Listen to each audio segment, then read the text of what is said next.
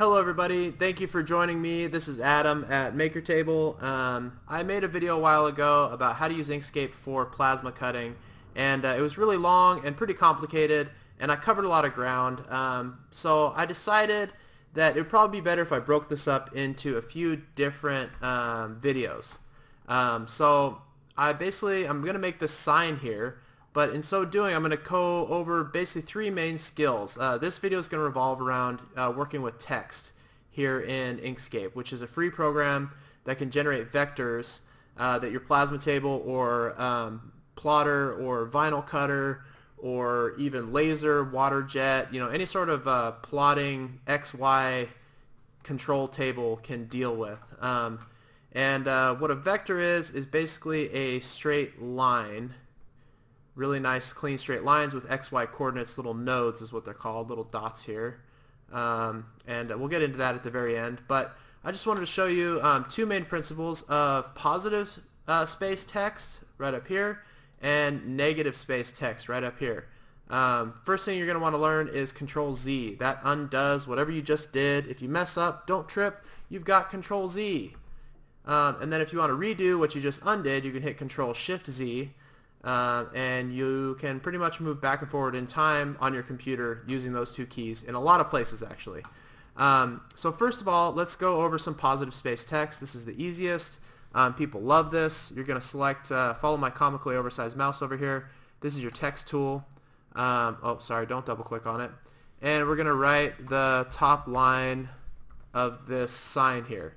Um, as you scroll or as you drag and scale stuff, you want to hold control uh, for some reason, my uh, keystroke uh, tracker is not showing you that I'm holding control right now, but I am holding control. Here's what happens if you drag without holding control. Is you get these really weird stretched, you know, features. Um, this can be handy for some stuff, but most of the time you pick a font because you like how it looks. Um, so let's keep our regular sizing here. Um, and then I'm going to go and select my font um, that I want. I downloaded this uh, American Captain. I think it looks pretty cool. Um, I'm going to go ahead and make it a little bit bigger so it's going to fit on this sign. Um, you know, maybe it's a little bit too big. That's probably about right. Um, but I'm going to show you how we recreate this sign. Um, the next thing you're going to deal with, if you're cutting with vinyl, you're pretty much ready to go. Um, you can probably take this to like your vinyl cut master software or whatever you're using and uh, that's probably enough. But for plasma, we've got a few more steps here. We need to connect these together in some way. I'm going to show you um, a few different ways to do that. So the easiest way is you make a line. I've got my opacity on here. Uh, so let's fix that. 100. I want this nice solid black. And uh, you just bump it up against the bottom and make it touch the bottom. There we go.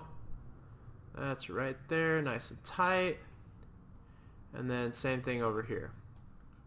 Alright, so um, this is about the most complicated it's ever going to get here, folks, is if you have um, some text you just wrote and a box you just drew, and uh, you want to basically combine these together. Because if you send this to your plasma, it's going to cut this box, and uh, it's going to cut these letters, and they won't be connected. So you're going to have to go through a few steps here. First of all, you're going to have to convert all this to a path, which is you can go up here path, object to path is what we're doing, but it's a shift control C. So we're going to shift control C, and now all this stuff is a path, meaning it's nodes. Um, and then we're going to uh, control shift control K. We're going to break this apart. Um, so each one of these things becomes separate. Shift control K. Here, let's make sure. Shift control K. We broke it apart. See how now um, these are two separate things. And then last thing we got to do is shift control G, which is ungroup. And now we have all these separate letters and this separate box down here. You can select each one by itself. And uh, so once again, this is going to cut all this stuff out separately. It's not going to give you what you want with Plasma. You have one last step, and that is union. So we need to, uh, let's see, control shift plus plus. And now all this is one object ready to cut. You can check by clicking your node tool over here. And this will show you each one of these dots is an XY coordinate that your plasma table is actually going to go to. um, while it's cutting. Um, so now we have our positive space sign, um, and this is actually ready to save, Control Shift S, as a DXF. Um, actually, let me show you what happened here. I went too fast. So if you select this, you want to hit Control Shift R. That's going to make this uh, come into your CAM software. This corner will be your origin. Um, if you didn't do this step, it'll come in floating around somewhere else. Um, you can still grab it, but this just makes it a little bit easier um, before you save. So Control Shift S is save, and you're going to save as DXF. Let's name this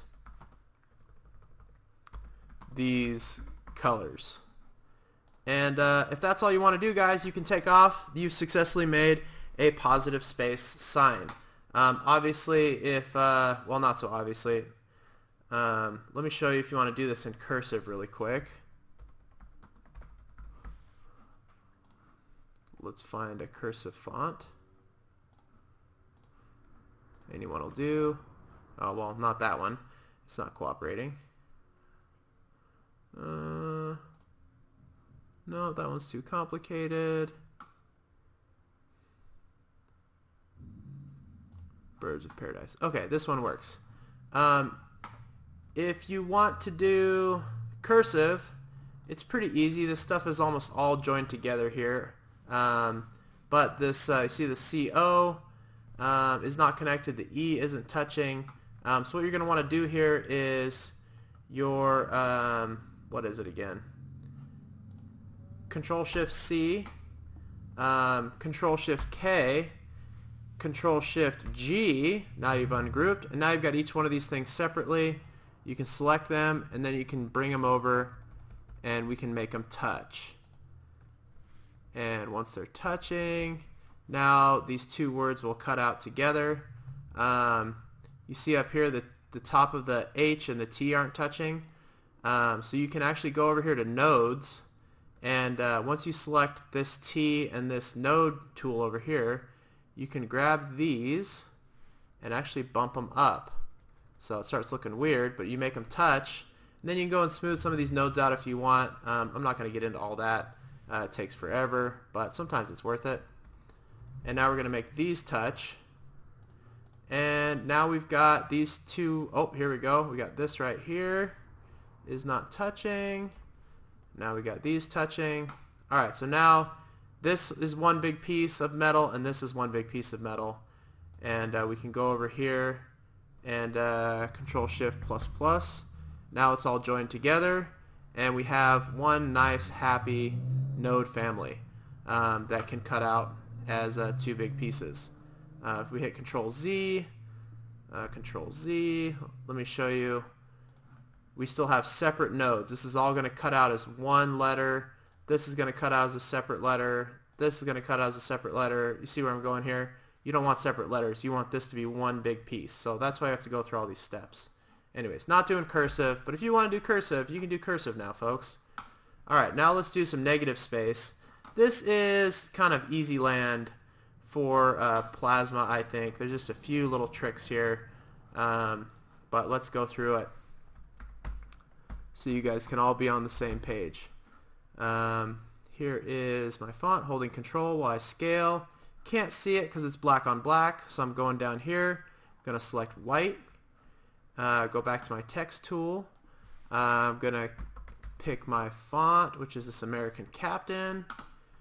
And then I'm going to scale this up.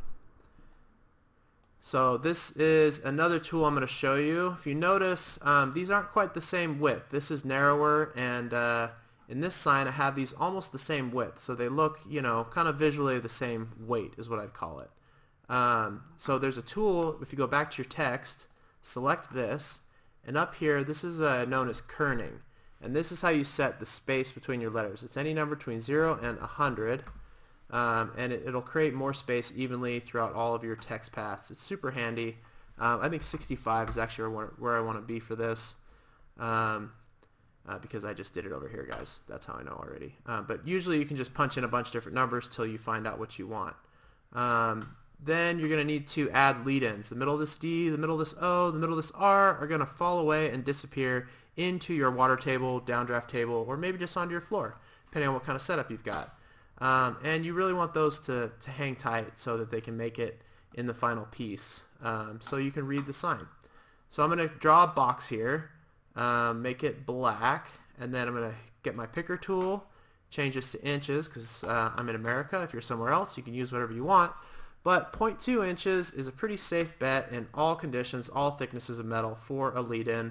Uh, if you're using fine cut consumables, cutting really thick material, um, you know, there's like other thicknesses that will work, but I'm just telling you guys that's one that does in most situations. Um, sorry, I just drew that and I hit Control C to copy, Control V to paste. Really, um, you know, pretty basic Windows stuff here. Control V, I'm going to paste another one. And you can set these wherever you want. Um, sometimes you can get away with it just connected on the bottom. Um, I'm just showing you guys all the way through. Keep it safe. Make sure nothing falls out. Um, so we've got all of our lead-ins in. We've got our text kerned. And, uh, you know, I'm pretty happy with this. Let's uh, center it up. We have a line. So we'll center it this way, center it this way. Now we're centered up. Um, if you want this to be your sign, there's the last step is you select everything, hit Alt-B now, and this is going to take an image. So we go from nice, scalable, perfectly straight line, uh, which is all fonts or scalable vectors, um, and then it took a snapshot of it and made it this pixelated line. Uh, what you know, it's kind of not ideal to have pixels, um, but you'll see why we do that in a second here. Um, we lost all the different boxes. This file up here is this box. These, let's see here. These letters and all of these separate boxes. It's going to try and cut out all these different things um, at once, and it's not going to turn out very well. This, however, can now be traced. Uh, Shift Alt B, remove background. Um, you can click the preview if you want to see it. And uh, this is going to change it back into a nice DXF vector file that um, we can send right to the plasma. And as you drag this off, you'll notice you can see through. What was white is now empty space. And then the last thing to check is this node tool. Boom, we've got nodes. These are XY coordinates that the plasma table or plotter or whatever you're using um, can follow um, as directions to control your cutting head. So this, again, is now ready. Uh, control Shift R to uh, resize the canvas around it and Control Shift S. We can save this as a DXF. And that is ready to cut and put into a CAM software here. Alright guys, um, so hopefully that was helpful.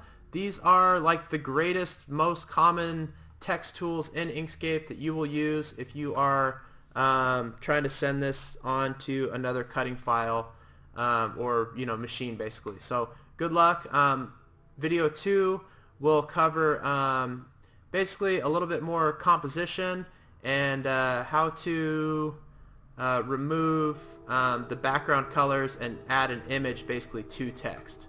Um, that's really the next part of this uh, sign making deal. So uh, please, if you guys thought this was cool and useful, hit, hit subscribe. Um, you know where the button is. It's right